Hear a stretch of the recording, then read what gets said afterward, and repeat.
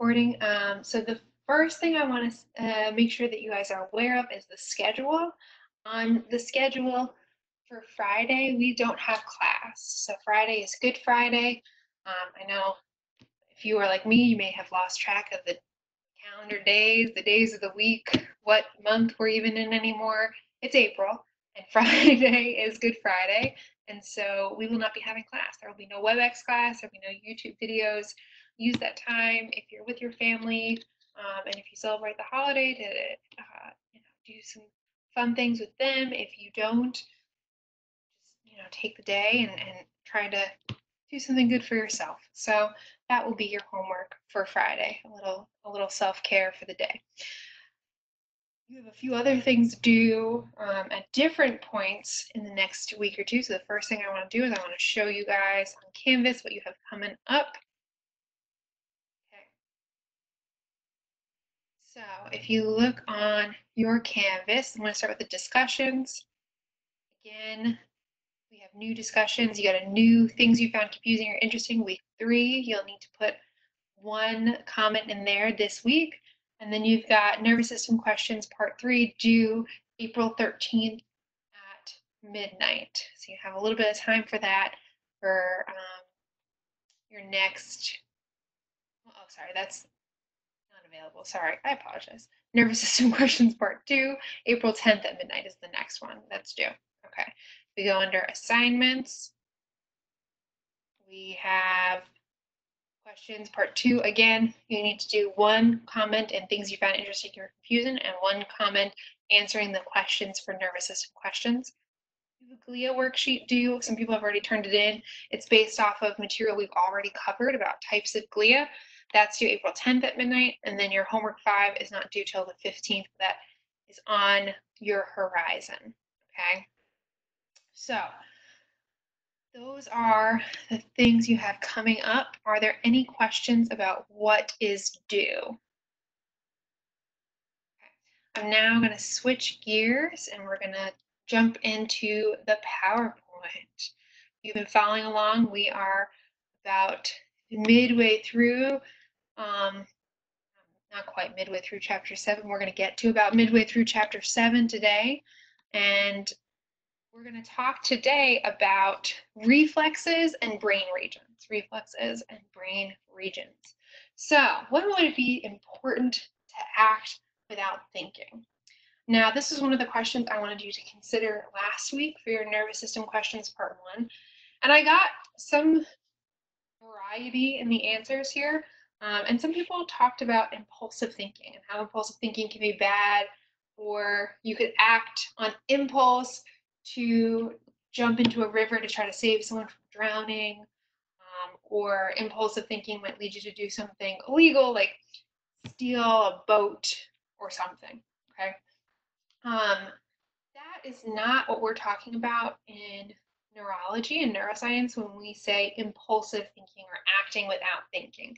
For that, we're talking about our reflexes. So these are things where the decision to move an effector or the decision to contract a skeletal muscle or a cardiac muscle or a smooth muscle, um, that sort of biological effect happens without conscious thought, without you thinking, okay, I'm going to steal this boat. Okay, I'm jumping into the river. Okay. These are things that are going to be happening before you realize that you're doing it. Um, and these are what we call our reflexes. So reflexes are rapid, predictable, involuntary responses, and they occur over reflex arcs to either stimulate skeletal muscles or to do um, the autonomic functions, to stimulate smooth cardiac muscles or glands. And this, when we say reflex arcs are involuntary responses, this is because it's happening at the level of your spinal cord. So normally, if you are playing soccer, for example, and a ball is on the field, you're gonna see the ball. That information of sight is to go travel up the spinal cord to your brain. For vision, not a lot of spinal cord involvement, but let's just pretend up the spinal cord to the brain. The brain is to say, I'm a soccer player. I'm to kick this ball. You tell it, I don't play a lot of sport, but this is what I imagine happens for those who play sport. Then think, okay, let's do it. Let's kick the ball. You're to send the information down your motor neuron down the, the spinal cord to your leg, contract the, the muscles in your leg, kick the ball. Okay, that is a conscious thought. I'm gonna kick it. Involuntary responses are are uh, involuntary because they occur at the level of the spinal cord. So if you've ever touched a hot stove, for example, you touch the hot stove and your hand moves away before you think to yourself, oh my gosh, that's a hot stove. Your hand is already moved. So this is your body's way of protecting itself from dangerous things by having the spinal cord be the one to make the decision as opposed to the brain. So the brain is involved with the conscious thought of, I'm going to touch this thing or I'm going to move my hand. And your spinal cord is before you have conscious thought. And so this is what that looks like um, in terms of a reflex arc. So we have the receptor, in the instance of your hand on a hot stove, we have the touch receptor in your hand that sends the information up a sensory neuron to your spinal cord. And your spinal cord is the one that says, this is dangerous. This is if you keep your hand here for even a fraction of a second longer, you're going to get a serious burn. And so we need to act now before we even tell the brain what's going on. And so the spinal cord is the one that will tell the motor neuron move the hand, which will then contract the effector muscles to move your hand away. At the same time, the spinal cord will then pass the information up to the brain. Hey, by the way, the stove is hot. So the, the body will act before the brain even knows what's going on. Uh, we call this a simple reflex, and a simple reflex arc uses two neurons. It's going to use that sensory, that afferent neuron, and that motor or efferent. And the classic example here um, is the one that tests is your patella arc. So if you ever sat on a table in a doctor's office and had a medical professional hit your leg, um, they're they're activating your patella arc, and so they're activating that that involuntary reflex. And there's a there's a YouTube video here about reflexes that you can look at um, if you have more questions. Let's now move and talk about the central nervous system. So our objectives for this part are to identify and indicate the major functions, remember FX means functions, of the major regions of the cerebrum, your diencephalon, brainstem, and cerebellum, to discuss the different ways that we protect our central nervous system, brain disorders and dysfunctions, and then finally to end with the spinal cord and talk about its structure. Let's talk first about development. So in embryonic development, your central nervous system first starts as a tube. So it's a group of cells that will first form a tube. We call it a neural tube. And there are some disorders we'll talk about where that tube doesn't fully close all the way. We call those neural tube defects. But in general, the neural tube will close and then one end of the tube, the superior end of the tube, is going to start to form a bulb. And that bulb will expand into your brain. And this expansion into a brain structure occurs at around week four of embryonic development. By week 13, the brain has formed different structures, including the cerebellum and the brainstem, and you're starting to see the appearance of ventricles. So, um, brain development or the development of our nervous system in general happens very early on in embryonic development, um, which is part of the reason why things that you do, even if you're a woman and you're pregnant, things that you do early in pregnancy can have an effect um, because these very sensitive systems are forming at such an early stage. So, week four, for most women, you don't even know you're pregnant at that point. You have just hit a missed period, and already you're starting to get uh, a neural tube forming. So, um, embryonic development, when we're talking about the nervous system, this is something that happens early. Okay, these are the major regions of the brain that we're going to focus on. We're going to talk about the cerebral hemispheres, which are otherwise known as your cerebrum. Then we'll zoom into the middle part of your brain, the base of your brain, and we'll talk about the diencephalon and the brainstem. And then at the back of your brain, the thing that looks kind of like a piece of cauliflower stuck on to the bottom of your brain, that's your cerebellum. We'll end by talking about your cerebellum. So your cerebral hemispheres, they house the majority of your brain structures. You have two hemispheres, a left and a right half, and each of them has within it four lobes. Um, when you look at the brain in general, you'll see that it's got bumps in it. It's got um, ridges and grooves. We call them ridges, ridges, gyruses or gyri. And the grooves, if they're small grooves, they're sulcuses or sulci. Um, and if they're very deep grooves, they're fissures. And the fissures are what separate, in general, they separate the lobes of the brain. Now, four lobes of the brain are pretty easy to remember if you know your cranial bones because they match with our cranial bones. So our frontal lobe is in the front part, it's right under the frontal bone. Same with the parietal lobes on the top, the temporal lobes on the side, and the occipital lobe in the back. So we have four lobes that match up with four of our cranial bones. Now, the way you can remember those four lobes, the way I was taught to remember them, is with the acronym FPOT, F-P-O-T. And you can move and touch the different parts of your head, starting in the front with frontal, to the top parietal, back occipital, over your ears, temporal. So I want you to take a second and do that, talk to yourself, play a little Simon Says, frontal, parietal, touch the occipital part, and temporal part. Awesome job. Okay. If we look at the cerebral hemispheres themselves, they have a cortex of gray matter. So the outer part has all of the cell bodies. Remember, gray matter is gray because it has unmyelinated fibers, which are our dendrites, and our cell bodies. And on the inside of the brain, deeper in the brain, deeper in the cerebral hemisphere, you'll see white matter. Again, white matter is white because it's all of those myelinated axons. And they're myelinated with a fatty substance. So in the same way, when you look at a piece of steak and you see the whiteness on the steak, now again, I'm a vegetarian, so this is what I hear about steaks is that the white part is fat. Same is true with the brain. The white part is that fatty myelin that's insulating our fibers. So that's why it's called white. So you'll see an outer gray matter, an inner white matter, and you'll see a few little bits of gray inside the white. We call those our basal nuclei. We'll get to what they do in a little bit. So what I need you to know for your cerebral hemisphere are some of these vocab words I talked about. I also need you to know where each of the four lobes are. Again, it should be straightforward if you remember your cranial bones, but you're going to need to know where each of the four lobes are and what functions are assigned to each of those four lobes. So where the lobes are and what they do. This is what the human brain looks like from a lateral view. Again, you can see those bumps and ridges in the brain and some of the deep fissures. Now, telling apart the exact location of some of the lobes of the brain is a little difficult. The boundaries are sometimes hard to see.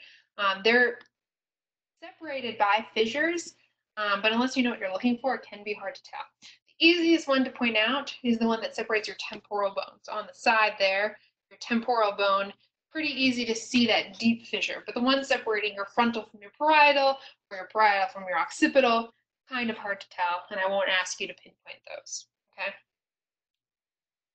This is again showing those different uh, lobes of the brain here in color, so you can see what we're talking about.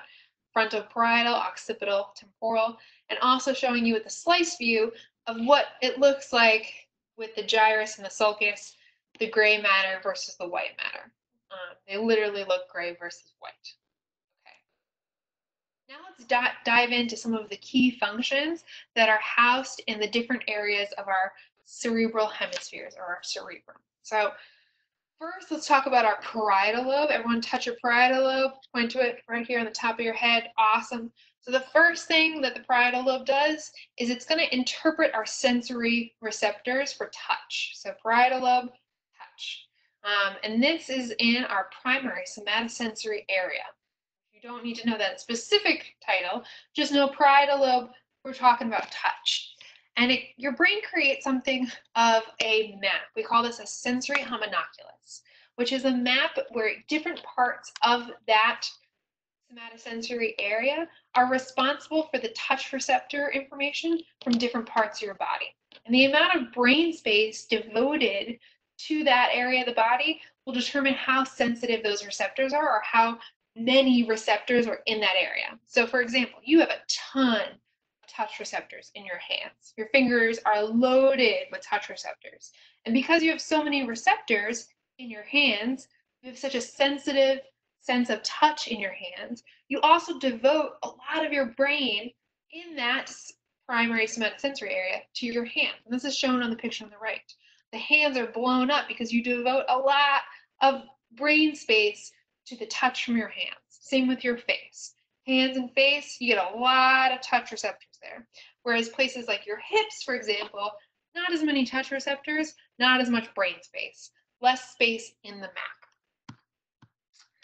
the touch receptors are going to send information about that sensory input, what you're touching. If you need to move it, that will be in the frontal lobe. So the frontal lobe has an area called the primary motor area, which is right next to the primary somatosensory area.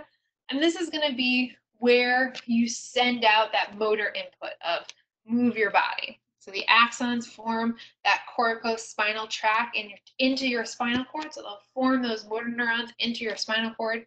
And in the same way that our touch receptors form a map in our parietal lobe, the motor neurons form a map in your frontal lobe. So we call this our motor homunculus. Again, areas where you need fine motor control, you're going to devote more brain region to than the areas where you need less motor control. So things like your hands and your face, you need to be able to move small amounts, very fine grade motions, right? To do things like write a um, write with a pencil or make a funny face. Then you need to, with areas like your humerus bone, your upper arm, for example. Not a lot of fine motor control needed with the upper arm. So you devote more brain region to the areas you need more motor control over. And that again forms that map, that motor homunculus.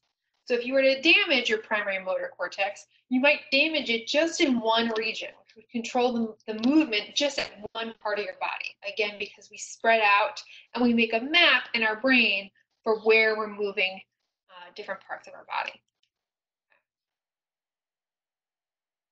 So this brings us to language. Language is complicated, um, and we use different parts of our brain to do different things. We use one part of our brain to hear words.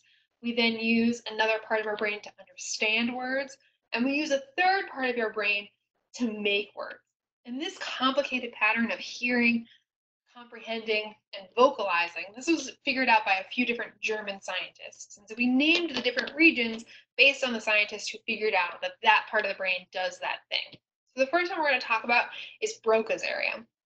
Broca's area is for word vocalization. So this is where the brain makes speech, it makes words. And this is in your frontal lobe on your dominant side. Now, a point of, of clarification I want to, to let you guys know of. Um, I've seen the, the quizzes online about are you left-brained or right-brained? And usually they ask questions like, do you like to draw? Are you good at math? Um, and from that, they seem to determine, oh, if you are good at math, you're right brained, and if you're you like to draw, you're left brained. Maybe I've mixed them up. Um, and I, I mix them up because they're they're BS. They have no basis in reality.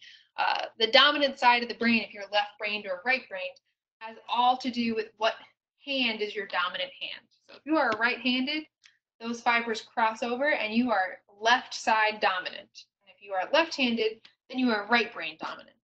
Again, that has nothing to do with your artistic ability or your calculus skills and everything to do with what hand you use to use a pencil.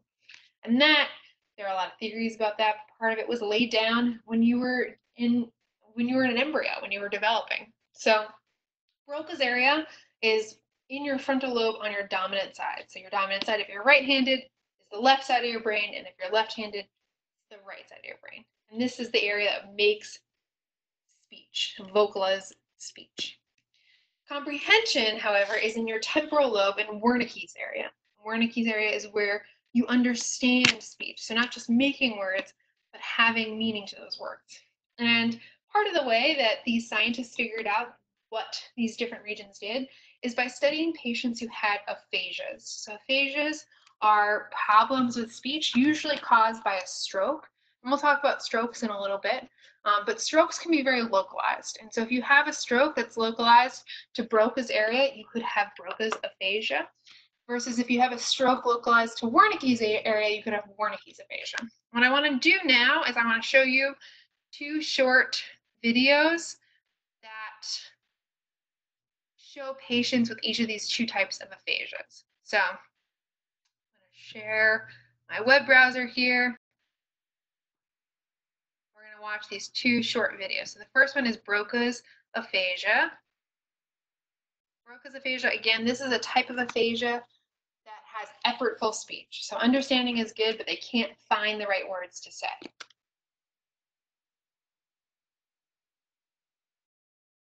Can you tell us your name? Uh, Mike Caputo. And Mike, when was your stroke? I was um, seven years ago, Okay. and And what did you used to do?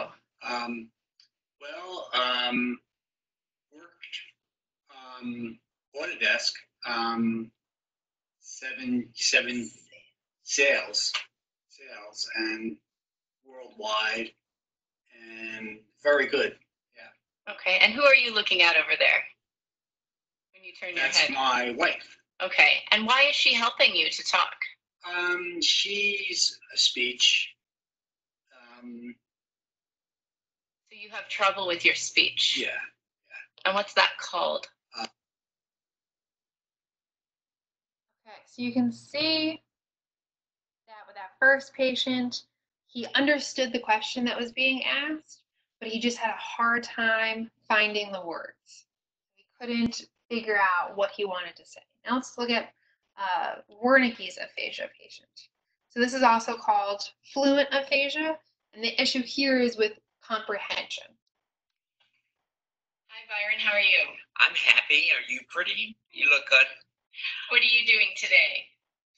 We stayed with the water over here at the moment. Talk with the people with them over there.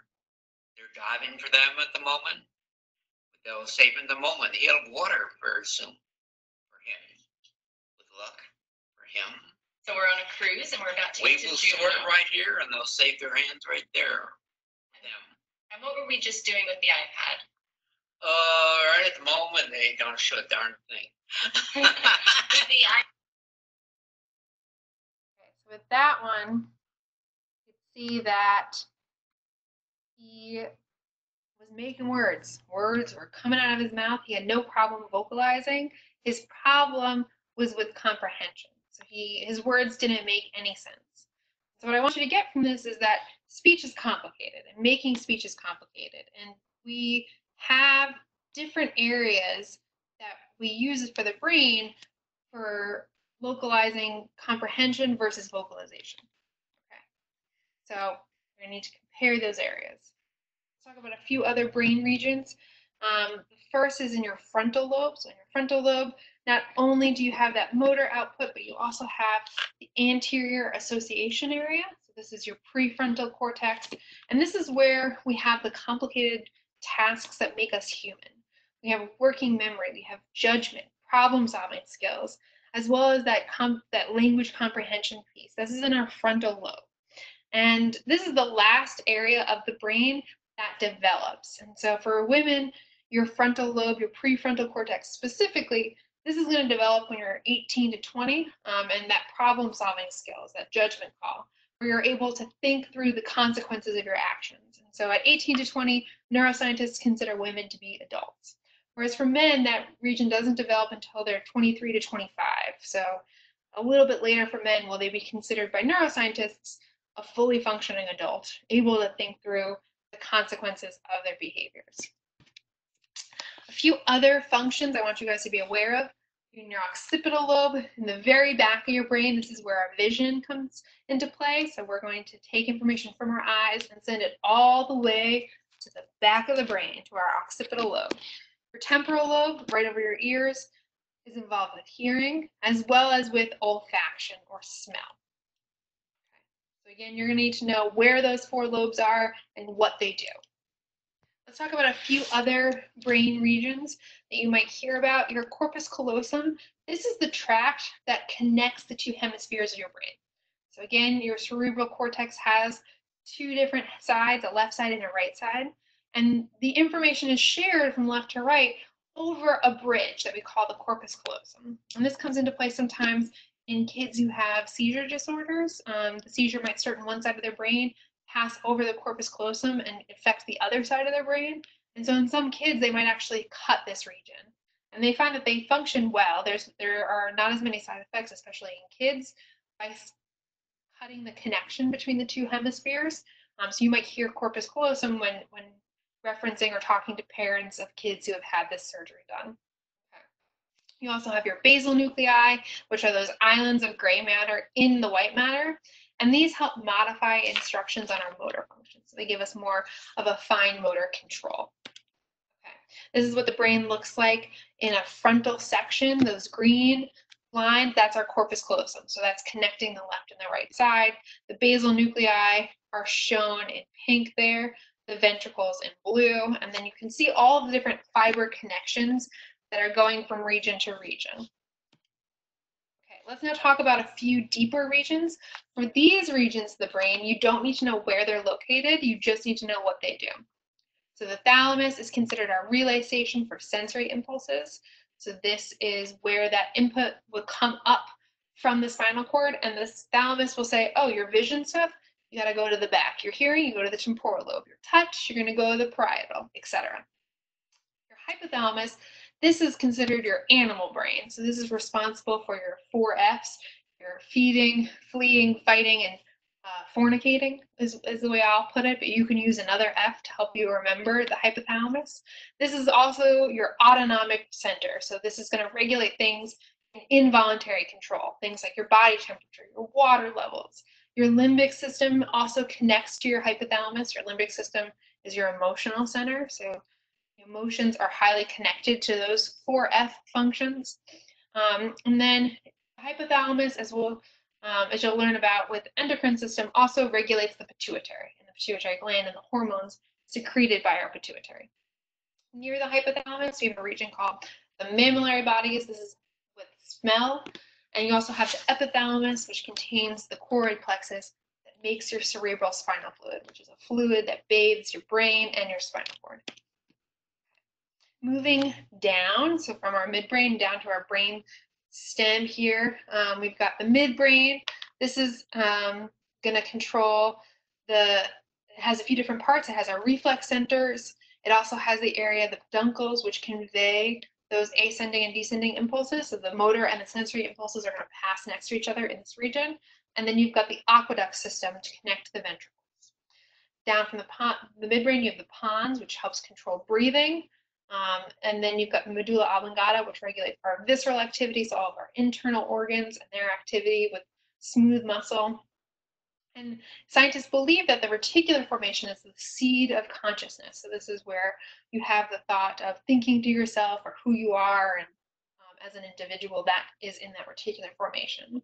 So you can tell that the brainstem controls some of our vital activities. And the reason that we put the most vital activities in that brainstem is in part because it's protected not just by all these structures we'll talk about, but also by the cerebral hemisphere. So if you get brain, if you get damage to the brain, it's better to have it on the cerebral hemispheres and have issues with motor or speech than it is to have issues at the brainstem, at the base of your brain, because this is going to be where you might have issues with breathing or, or visceral activity or consciousness. This is showing how information is sent up. Again, sensory input is going to come up from the spinal cord. It'll then be relayed out from the thalamus to all the different areas of the cortex before the motor input coming back. And again, this is showing you where those different structures are. You, for this class, don't need to know where the midbrain and brainstem structures are. You just need to know what they do. The last structure we're going to talk about is our cerebellum. This is that cauliflower structure attached to the base of our brain that controls timing and balance for uh, movement. So if you have damage to your cerebellum, you're going to be off balance and, and be uncoordinated in your movement. Okay. So with that, I am going to end this part here. Um, are there any questions people have? With that, you guys are done for today. Um, I will see you Wednesday. I'll stick around for a little bit if you have questions.